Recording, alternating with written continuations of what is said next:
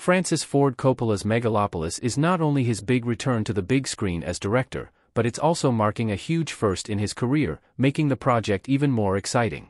Francis Ford Coppola is one of the greatest directors in film history, thanks to movies like The Godfather and Apocalypse Now, so there's always a lot of expectation around his projects.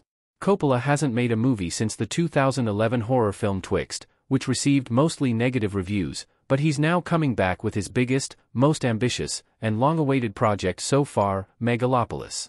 Megalopolis started as a passion project for Coppola in the 1980s, and he revealed in 2007, via Ain't It Cool, that he agreed to direct Bram Stoker's Dracula, Jack, and The Rainmaker to get out of debt and be able to fund Megalopolis. After getting color works for it done and holding table reads with several actors, Coppola said in 2007 that he had abandoned the project. Luckily, Coppola returned to it in 2019 and set it into motion, with an unbelievable budget of $120 million. Megalopolis is not only Coppola's biggest project to date, but it's also marking a surprising first in his career. Megalopolis is Francis Ford Coppola's first sci-fi movie. Not counting short films and other minor projects. Adam Driver Megalopolis Francis Ford Coppola's career as a filmmaker began in 1963 with Dementia 13, a black and white horror thriller, after which he made a comedy, a musical, and a drama movie before bringing Mario Puzo's novel The Godfather to life in 1972. The Godfather was a critical and commercial success, becoming one of the greatest movies ever made. Coppola's next big hit was the war film Apocalypse Now, which was also a hit with critics and general audiences and earned a spot among the greatest films ever made. Apocalypse Now was followed by movies from a variety of genres, but none of them sci-fi movies until now. In 1986, Coppola directed and co-wrote with George Lucas and Rusty Lemorande the short film Captain EO, a 3D sci-fi adventure starring Michael Jackson as the title character. Captain EO is Coppola's only visit to the sci-fi genre, but when it comes to feature-length projects, he stayed away from it until Megalopolis entered production.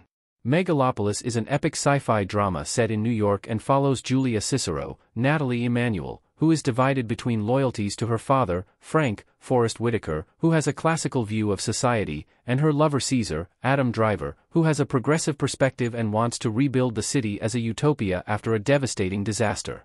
It's unknown why Coppola hadn't made a sci-fi movie until now, especially after exploring so many other genres and colleagues and friends like George Lucas and Steven Spielberg making some of the greatest sci-fi movies ever. Francis Ford Coppola's genre diversity is promising for Megalopolis. Francis Ford Coppola has explored a wide variety of genres. Francis Ford Coppola is best known for making one of the greatest crime-slash-gangster movies ever and one of the best war films ever as well, but his filmography goes way beyond that. Coppola has explored genres like coming of age with The Outsiders, comedy with Peggy Sue Got Married, legal drama with The Rainmaker, and even horror with Bram Stoker's Dracula. Surely, not all of Coppola's movies have been a success with critics and general audiences, but this wide variety of genres inevitably gives him an upper hand over many other directors who stick to one or two genres. Coppola has also mixed genres in his movies to great success, and that's in large part thanks to his experience in a variety of genres. Not making a sci-fi movie before Megalopolis shouldn't be an impediment for Coppola, and his genre diversity means that Megalopolis can have hints of other genres, making it more complex and interesting and a much bigger spectacle than it's already expected to be.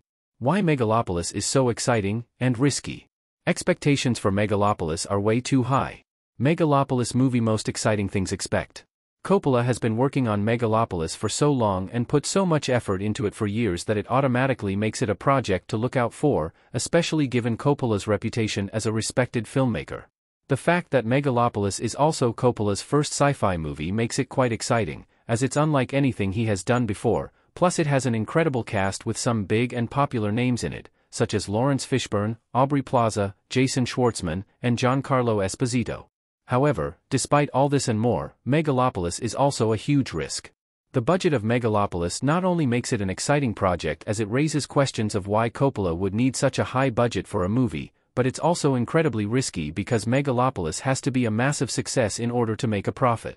Although Francis Ford Coppola has many successes under his name, he also has some not so memorable projects, so while Megalopolis is a highly anticipated and exciting project, there's still a risk of it not meeting those high expectations.